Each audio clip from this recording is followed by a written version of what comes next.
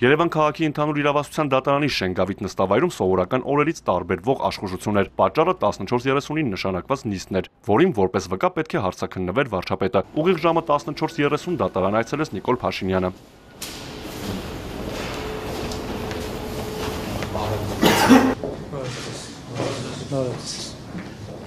Վկա Նիկոլ Փաշինյանին նախ պարզաբանեցին իր իրավունքները, որից հետո դատարանը նախ ճշտեց. Վկան ճանաչում է տուժող Հայկ Սարգսյանին եւ ամբաստանյալ Արթուր Այվազյանին եւ ինչ հարաբերություններ ունի վերջիններից հետ։ Այո, ճանաչում եմ Հայկ Սարգսյանին, իմ նախընտրական մեր նախընտրական շտաբի պետն է եղել խորհրդանական ընտրությունների ժամանակ 2017 թվականին նաև նրա հետ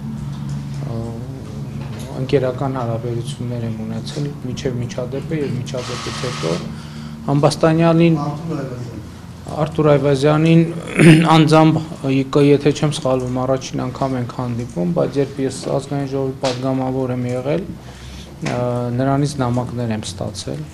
եւ այդքանով գիտեմ։ Նիկոլ Փաշինյանը ցուցմունք տվեց 2017 թվականի մարտի 31-ին խորհրդանի ընտրության նախընտրական քարոզարշավի վերջին օրը, մասնավորապես Հայկ Սարգսյանի եւ Արթուր Այվազյանի մանախի միջև տեղի ունեցած միջադեպի կապակցությամբ հարուցված քրեական գործի շրջանակում։ Խորհրդանական ընտրությունների նախընտրական քարոզարշավի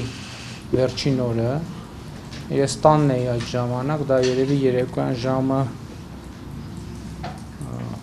10-ի կողմերը կլիներ։ Կարծեմ Ալեն Սիմոնյանին զանգեց եւ ասաց, որ մեր տղաների վրա հարցակում է տեղի ունեցել։ Ալեն Սիմոնյանը երևի կոնկրետ նշեց, որ Հայկենց վրա է հարցակում տեղի ունեցել։ Փորձեցի Հայկին զանգել, Հայկի հերախոսը չպատասխանեց, հետո հետո եթե չեմ սխալվում, էլի Ալենի միջոցով փորձեցի ասցի թող ինձ զանգենով կա դեպքի վայրում։ Ինձ զանգեցին եւ ասցին, որ այո միջադեպ է եղել եւ ես նրանց ասացի արագ այդ տարածքից հեռացեք եւ եկեք նախընտրական շտաբ Միջադեպի պատճառը Հայաստանի Հանրապետության դրոշն է, որը բուկլետ բաժանելիս եղել է երկդաշինքի անդամների մոտ։ Միջադեպի մանրամասներին Նիկոլ Փաշինյանը տեղեկացել է նախընտրական շտաբում։ Պատմեցին ինձ, որ որ երբ որ շենքից իջել են, տեսել են, որ դրոշի վրա մեքենայի վրա ամրացված դրոշը չկա,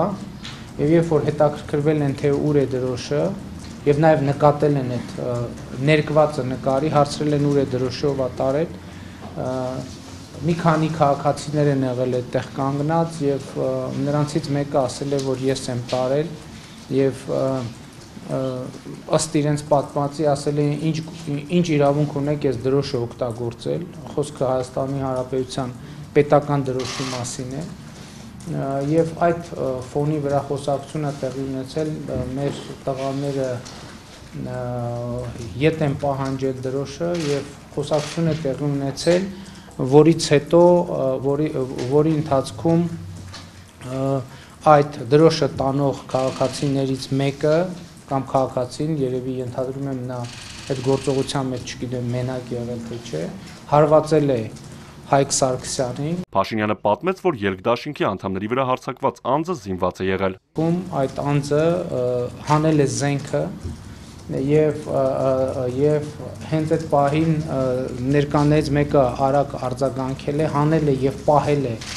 հայկի վրա Միջադեպի կապակցությամբ Նիկոլ Փաշինյանը ահազանգել է ոստիկանություն, բայց որքանով որ հիշում է ոստիկանությունը այդպես էլ չի եկել, որից հետո ինքը անձամբ է գնացել ոստիկանության Մալացիայի բաժին։ Վարչապետը պատմեց, որ զենքը լիցքավորված է եղել մարտական փամփուշտներով։ Նիկոլ Փաշինյանը պատասխանեց նաև կողմերի հարցերին։ Որտեղ է տեղի ունեցել միջադեպը մեղադրող դատախազի հարցին Նիկոլ Փաշինյանը պատասխանեց, որքանով հիշում եմ հարավարեմտյան թաղամասում Զորավար Անդրանիկի արցանից աճ ընկած հատվածի շենքերից մեկի բակում Փաշինյանը նշեց, որ այդ անձին իրեն ներկայացնելիս ասել են, որ նա առավել հայտնի է Մանախ Մականունով։ Պաշտպանական կողմին հետաքրքրում էր, թե վարչապետը ինչ հարաբերություններ ունի գործով քննիչ Սուրեն Նավոյանի հետ, նկատի ունենալով այն հանգամանքը, որ 2018 թվականին քննիչը նույնպես մասնակցել է հանրահավաքին։ Քննիչ Նավոյանի հետ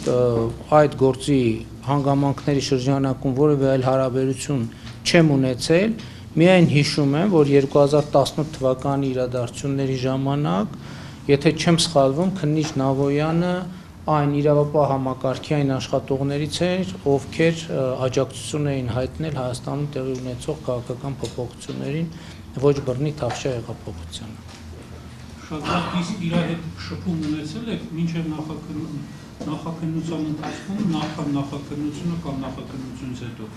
Միջև նախաքննությունը շփում չեմ ունեցել Փաստաբան Հայկ Ալումյանը կասկածի տակ դրեց քննության անաչառությունը նշելով, որ քննիչը աջակցություն է հայտնել ոչ թե Նիկոլ Փաշինյանին, այլ նրա ղեկավարած քաղաքական ուժին։ Ի պատասխան պաշտպանի հարցերին Փաշինյանը նշեց, որ չի բացառում, որ այդ օրերին հանրապետության հրապարակում եղել են տասնյակ դատախազներ, քննիչներ, ոստիկաններ, ամբաստանյալներ ու մեղադրյալներ, եւ դա իր կարծիքով որևէ բան չի նշանակում։ Ամբաստանյալը նշեց, որ վկային հարց չունի, քանի որ փորձ է կատարվում գործին քաղաքական ենթատեքստ տալ։ Նիստից հետո վարչապետը պատասխանեց լրագրողների հարցերին։ Ինչու որոշեց ներկայանալ դատա դատարան եւ հարցաքննվել է արդյոք մարտի 1-ի գործով։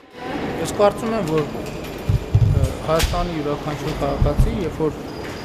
ծանոթում է քննիչի կամ դատա կամ դատանի կողմից պետք է ներկայանա։ Պարոն Փաշինյան, մարտի 1-ի գործի շրջանակում դուք հարցաքննվել եք։ Այո, այդ թվում էս դատարանը Ամբաստանյալ Արթուր Այվազյանը նշեց, որ գործին քաղաքական ենթատեքստ տալը անիմաստ ու անհիմն է մեկ པարս պատճառով։ Ես չեմ ընդունել ոչ Սերժ Սարգսյանի, ոչ Ռոբերտ Քոչարյանի քաղաքական ռեժիմները եւ ես այդ ռեժիմների զոհն եմ ինձ համարում եւ այդպես էլ եղել է։ Միջադեպը զուտ եղել է, ինչպես ես նկարագրել եմ իմ հարցազրույցում, Երագույն դերոշը գետնից բարձրացնելու հետ։ Երագույն դերոշը գետնին էր ընկած, ես բարձրացրել եմ, իրենք պահանջել են ու կոնֆլիկտ առաջացավ տոնայնությունների տարբերությունով պայմանավորված կոնֆլիկտ առաջացավ զուտ տղամարդկային կոնֆլիկտ ասա եղել սա ոչ մի քաղաքական ոչ մի դիվիդենդ չի ունեցել դատական նիստը հետաձգվեց. Արթուր Հակոբյան, Մհեր Կիրակոսյան, Էպիկենտրոն